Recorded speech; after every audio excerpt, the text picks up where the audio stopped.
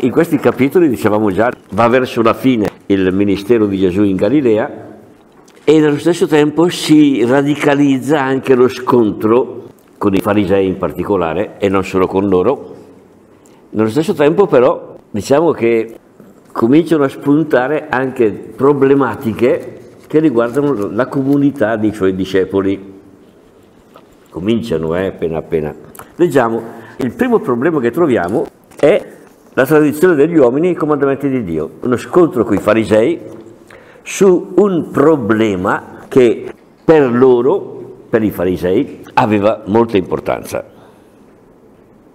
Notate, comincia così, c'è una commissione d'inchiesta, dice il Vangelo, lo leggiamo subito adesso, c'è una commissione d'inchiesta mandata da Gerusalemme che vuol verificare un po' chi è e che sostanza ha questo profeta nuovo che nessuno conosceva prima, che nessuno immaginava ci fosse, e quindi sono lì per fare domande, per fare un'inchiesta praticamente su di lui. E qual è la prima cosa che toccano? Qualcosa che per loro appunto era molto importante, che vedono che i suoi trascurano le mani prima di mangiare alcuni farisei, alcuni maestri della legge, quindi eh, rabbini, giunti da Gerusalemme, si avvicinarono a Gesù e gli dissero, notate siamo verso i margini della Galilea, eh?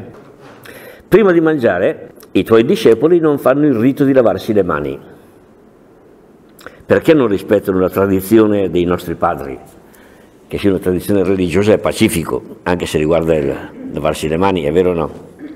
Hanno aggiunto il religioso ma per, sé, per far capire, ma forse è un di più proprio. Comunque, non rispettano la tradizione degli antichi, dei nostri padri. Notate, in cosa consiste questa tradizione dei nostri padri? Voi sapete che i libri della Bibbia, specialmente quelli che noi diciamo storici, la Torah e la storia del popolo dall'ingresso in Palestina fino alla deportazione a Babilonia, fondamentalmente sono i primi sette libri della Bibbia attuale, sono stati consegnati a Israele, così come sono oggi, circa 500 anni prima di Cristo, spana più e spana meno.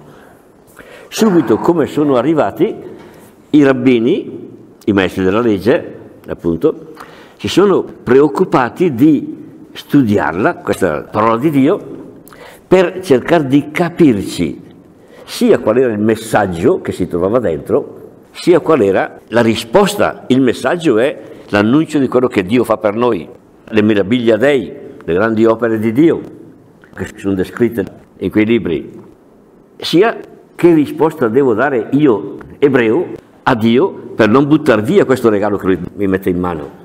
La prima parte si chiama ancora oggi Aggadah, studio degli interventi di Dio, Aggadà. Aggadà. E invece la risposta morale, cosa devo fare io per, è detta in ebraico sempre alla ka. Alla ka.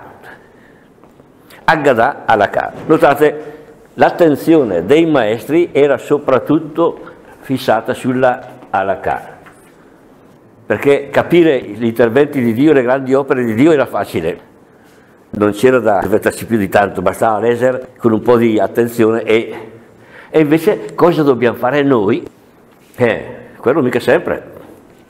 E queste norme pian piano sono state fissate in alcuni libri, alcuni documenti. Uno di questi documenti si chiama Mishnah in ebraico Mishnah. È tutta una serie di riflessioni, di precetti, eccetera. Da qui vengono la maggior parte dei 613 precetti che gli abbiamo tirato fuori dalla Bibbia. La Mishnah sarà poi completata verso il IV-V secolo d.C. Però non finirà questa ricerca, va avanti, noi adesso la vediamo come all'epoca di Cristo, però andrà avanti e verrà fuori un altro libro che unendosi al primo, alla Mishnah, darà origine al Talmud, che funziona per gli ebrei ancora oggi. Bene, la Mishnah è divisa in sei parti. L'undicesimo capitolo della sesta parte quindi verso la fine, su 12 capitoli che formano la sesta parte, l'undicesimo, quindi verso la fine proprio della Mishnah, l'undicesimo capitolo è tutto dedicato al lavaggio delle mani prima dei pasti. Un intero capitolo, a noi verrebbe fuori di bocca chi ne dice insomma.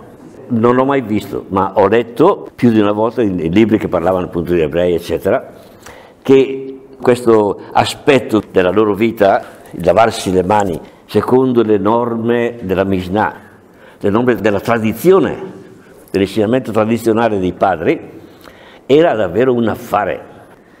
Non a caso, spesso e volentieri, quando i rabbini mangiavano, lasciavano la porta aperta perché chiunque voleva poteva entrare in casa per controllare come il rabbino si preparava al pranzo attraverso il lavaggio delle mani. Era un rito ma, ma complicatissimo, perché dalla osservanza più o meno perfetta di tutte queste norme, diciamo, derivava un giudizio sulla capacità della persona di vivere in modo fedele alla sua fede ebraica.